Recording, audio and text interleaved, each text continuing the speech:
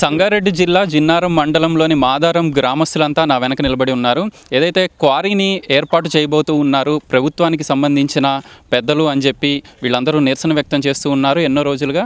అయితే దీనికి సంబంధించి ప్రజాభిప్రాయ సేకరణ కూడా రేపు జరగనుంది. దాన్ని వీళ్ళ వినతి ప్రకారం జిల్లా కలెక్టర్ అయితే ఆపేయడం జరిగింది. మొదటి విజయం సాధించామని చెప్పి ఇక్కడ ఉన్న గ్రామస్తులందరూ చెప్తూ ఉన్నారు అసలు ఏంటి ఈ కంకర్ క్వారీ వల్ల ఎలాంటి ఇబ్బందులు తలెత్తే పరిస్థితుంది అనేది మనతో పాటు గ్రామ పెద్దలందరూ ఉన్నారు. అదేవిధంగా మాజీ సర్పంచ్ ప్రస్తుత సర్పంచ్ భర్త సురేందర్ గౌడ్ ఉన్నారు? ఆయనతో మాట్లాడే ప్రయత్నం చేద్దాం. సార్ ముందుగా మొదటి విజయం సాధించారనుకోవచ్చు. ప్రజాభిప్రాయ సేకరణ అయితే ప్రస్తుతానికి నిలుపుదల చేశారు అధికారులు. కానీ రాబోయే రోజుల్లో ఇది జరగచ్చు అని చెప్పి ఒక మాట వినిపిస్తుంది. ఏం చెప్పదలుచుకున్నారు? అదే మాకు అదే వినికిడి వినబడుతున్నది. ఇలా ప్రజాభిప్రాయ సేకరణ చేయకుండా అధికారుల ద్వారా ప్రభుత్వం మాదుంది అని చెప్పేసి క్వారీని అలాట్మెంట్ చేస్తారని మాకు సమాచారం వస్తుంది. అలాంటి సమాచారం వస్తే మేము అందరం కూడా గ్రామస్తులం. ప్రతి ఒక్కరం కూడా మేము ఎప్పుడైనా ఒకరోజు రావడానికి సిద్ధం చచ్చిపోయడమే ఇలా మేము చనిపేసి మమ్మల్ని చంపిన తర్వాత ఇలా కారు పెట్టాలా మీరు? మీరు ఈ మిషన్లు పెట్టాలి. ఎందుకంటే మా ప్రాణాలతో చిలగట ఆడుతున్నారంటే మేము ఎప్పుడైనా ఏదో రోజు చనిపోయడమే ఇలా మమ్మల్ని అందరిని చంపేసి మీరు చేసుకోవాలి. సార్ ఈ ప్రశ్న అడగాల్సిన బాధ్యత ఒక జర్నలిస్ట్గా నా మీద ఉంది. సరే మీరందరూ ఏకతాటి మీద నిలబడ్డారు పార్టీలకు అతీతంగా ఈరోజు ప్రభుత్వం పైనే పోరాటం చేస్తున్నారనుకోవచ్చు. కొన్ని రోజులు పోయిన తర్వాత ఇక్కడున్న ప్రజాప్రతినిధుల్ని కొనే అవకాశం కూడా ఉంది క్వారీకి సంబంధించిన యజమానులు అని చెప్పి ఒక మాట వినిపిస్తుంది. అంటే అమ్ముడుపోయే పరిస్థితి ఉందనుకోవచ్చా? ఏం చెప్పదలుచుకున్నారు ఈ గ్రామ పెద్దలుగా? ఏం చెప్తారు?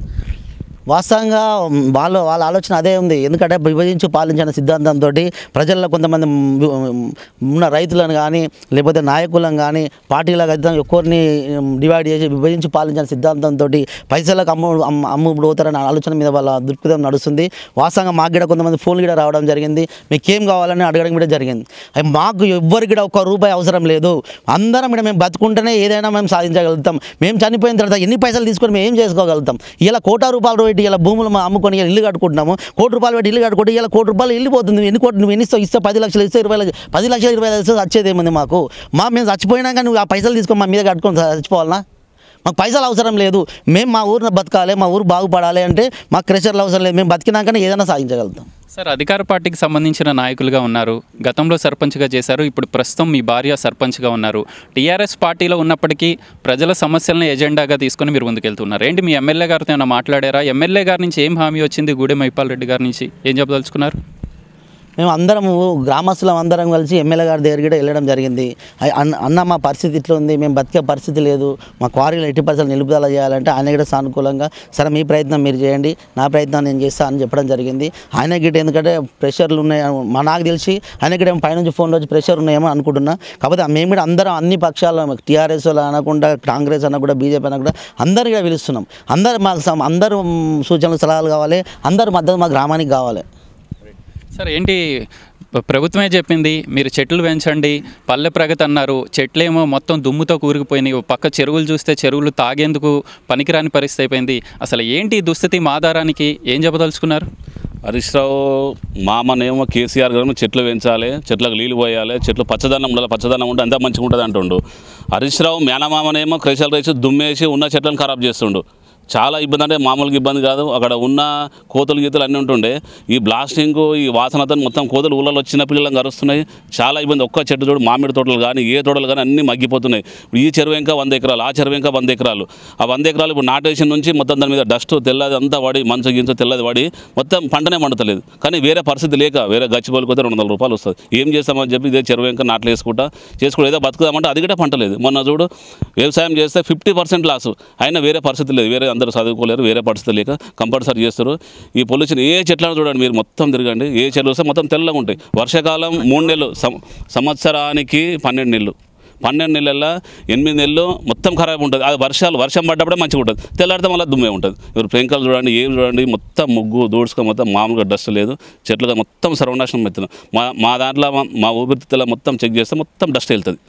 అది మరి సరే వాళ్ళు అధికారులు ఏ విధంగా అనుకుంటారో మాకు తెలుస్తుంది కానీ మనం మమ్మల్ని జంపురి మాకు ఉరితాలు తెచ్చి లైన్గా కట్టేసి అందరం ఉరేసుకొని చచ్చిపోతాం. మా కింద ఇప్పుడు చేస్తే వెయ్యి ఫీట్ల రాయలుతుంది ఆ వెయ్యి ఫీట్లు కూడా తవ్వుకోరి తవ్వుకొని మొత్తం పొల్యూషన్ చేసుకోరు మీరు ఏసీలో వండుకోరి అది మేము చెప్పదలుచుకున్నాం. ఏం చెప్పదలుచుకున్నారు సార్? గ్రామ పెద్దలందరూ ఒక తాటి మీదకి వచ్చారు. ఏంటి ఇది గ్రామస్తులు అందరూ కలిసి చేస్తున్న పోరాటం అనుకోవచ్చా? కేవలం రాజకీయ పార్టీల నాయకులు చేస్తున్న పోరాటం అనుకోవచ్చా? లేదు సార్ అదంతా గ్రామానికి సంబంధించింది. మొత్తం గ్రామ పెద్దలందరూ కలిసి గ్రామ ప్రజలు పెద్దలు అందరూ కలిసి దీనికి పోరాటం చేస్తారు భారీ ఎత్తున రేపు సభ మీటింగ్ ఉంది మళ్ళీ ర్యాలీ ఉంది గ్రామ సభ నుంచి. భారీ ఎత్తున ర్యాలీ ఫస్ట్గా ముందుగా తెలియజేయడం ఏంటంటే ఆరోగ్య సమస్య సార్ ముందు. ఎందుకంటే ఇప్పుడు మన ప్రభుత్వం ఏమంటుందంటే మన ఆరోగ్యం గురించే చెప్తుంది ఏదైనా. ఆరోగ్యం బాగుంటేనే మనం బాగుంటామని. కాబట్టి మన ఆరోగ్యం బాగుంటేనే మన గ్రామం బాగుంటుంది మనం బాగుంటుంది. ఆ పచ్చని చెట్టు ప్రగతికి మెట్టంటున్నాం. కాబట్టి మొత్తం డస్ట్ వల్ల మనిషి ఆరోగ్యాలన్నీ పాడైపోతున్నాయి. సో గ్రామంలో నివసించలేకపోతున్నాం. మరియు ఇండ్లు మరియు ముఖ్యంగా ఏంటంటే ఆరోగ్య సమస్య సార్. ఆరోగ్యం బాగుంటేనే మనం బాగుంటాం. కాబట్టి కొంచెం మమ్మల్ని చూసి సహకరించి మా గ్రామానికి అది నిలిపేయాలని చెప్పి మేము గ్రామం తరపున పెద్దల తరపున అందరం మేము కోరుకుంటున్నాం సార్. సార్ చివరిగా చెప్పండి. పొల్యూషన్ కంట్రోల్ బోర్డు మీద ఇప్పటికే సుప్రీంకోర్టు కానివ్వండి హైకోర్టు ఎన్నోసార్లు వాళ్ళకి చివాట్లు పెట్టిన అధికారుల తీరు మారినట్టు పెద్దగా కనిపించట్లేదు. అందులోనూ జిన్నారం మండలానికి సంబంధించి పటాన్చెరు నియోజకవర్గంలో ఉన్న పొల్యూషన్ కంట్రోల్ బోర్డు అధికారులు ఎవరైతే ఉన్నారో వాళ్ళు ప్రజలను చంపేందుకే ప్రయత్నిస్తున్నారని చెప్పి పెద్ద ఎత్తున ప్రజలు అనుకుంటూ ఉన్నారు. అధికారులకు ఏం చెప్పదలుచుకున్నారు మాజీ సర్పంచ్గా? ఇప్పుడు మేము అందరం కలిసి పీసీబీఈ రవీందర్ సార్ గారికి ఈడ వెళ్ళడం జరిగింది కాంప్లీట్ చేయడం జరిగింది. కాంప్లీట్ ఇస్తే మన రెండు తారీఖు రోజు ఏఈ గారు వచ్చారు. ఏఈ గారు తీసుకొచ్చి మిషన్ తీసుకొచ్చి పెట్టారు మిషన్ తెచ్చి మీద ఎంత పొల్యూషన్ ఉంది ఏంది క్యాలిక్యులేట్ చేస్తాను తెచ్చి మిషన్ తెచ్చి పెట్టారు మిషన్ తెచ్చి పెట్టిన తర్వాత వాళ్ళు వాళ్ళ అక్కడ అక్కడ కంపెనీలతో కుమ్మకాయ ఇక్కడ మిషన్ పెట్టిరు అక్కడ కేసర్ బంద్ ఉంది. ఇప్పుడు అధికారులు నిజంగా వాళ్ళు స్వచ్ఛందంగా పనిచేయాలి కరెక్ట్ పని చేయాలి ఇలా మిషన్ పెట్టిన రోజు కేసర్ ఎట్లా బంద్ ఉంటుంది? అది వానికి నువ్వు అమ్ముడు పోతున్నారు ఇలా. అధికారులు అమ్ముడు పోయి పని చేస్తున్నారు కాబట్టి మేము ఈ దుర్వర బతుకు బతకవలసి వస్తుంది. అధికారుల మీద మాకు పీసీ బోల్ హండ్రెడ్ పర్సెంట్ చెప్తున్నా కదా. పీసీ బోల్ ఇలా మమ్మల్ని విచారించకుండా ఇలా మా దగ్గర క్వారీకి చెప్తున్నారు పక్క పండు చెరువే ఉంది. అందుకెళ్ళి నా కాలువలు ఉన్నాయి. అలా మొదలు అందులో అగ్రికల్చర్ భూములు ఉన్నాయి. అవన్నీ ఏది విచారించకుండా డైరెక్ట్ ఎన్ఓసీలు ఇస్తున్నారు.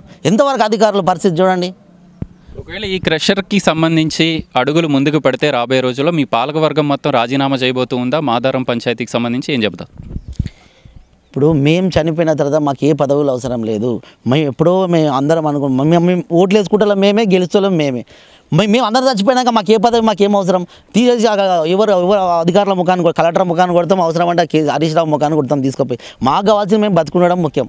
మాకు ఏ పదవి మాకు అవసరం లేదు. మేము ఇప్పుడు మా మమ్మల్ని ధిక్కరించి వాళ్ళు ఏ స్టెప్ వేసినా అందరం రాజీనామా మొక్కుమంటే సిద్ధంగా ఉంటాం. నిరాహార దీక్ష పెట్టుకుంటాం. ఈయన నిరాహార దీక్ష వేసి అది కంప్లీట్ బంద్ అయ్యేదాకా కూర్చుంటాం మేము. రైట్ ఇది ఓవరాల్గా మాదారానికి సంబంధించిన గ్రామ పెద్దలతో పాటు ప్రజలందరూ ఒకటే స్పష్టంగా చెప్తూ ఉన్నారు. రాబోయే రోజుల్లో గనక ఏదైతే ఈ యాభై ఏడు ఎకరాల్లో చేపట్టబోయే క్రంకర్ కషర్ల పనులు గనక ముందుకు సాగితే ఖచ్చితంగా ప్రజలందరూ తిరగబడతాము అధికారులను తరిమి కొడతామని చెప్పి మాదారం గ్రామస్తులందరూ చెప్తూ ఉన్నారు. ఇకనైనా అధికారులు స్పందించి ఈ పనులన్నీ ఆపేయాలని చెప్పి వాళ్ళు కోరుతూ ఉన్నారు. చూడాలి మరి. ఈ క్రషర్ పెట్టాలనుకున్న వాళ్ళు ఎవరైతే ఉన్నారో పుండరీకాక్షరావు అని చెప్పి పేరు వినపడుతూ ఉంది. హరీష్ రావుకి స్వయాన మేనమామ అని చెప్పి ఇంకొక మాట వినిపిస్తూ ఉంది. మరి హరీష్ రావు కూడా స్పందించి ఈ క్రషర్ని ఆపి ప్రజల బతుకులు బాగు చేయాలని చెప్పి ఇక్కడున్న ప్రజలందరూ కోరుకుంటూ ఉన్నారు. వీడియో జర్నలిస్ట్ యాని భాషతో గోపికృష్ణ న్యూస్ సిక్స్టీన్ సంగారెడ్డి జిల్లా నుంచి.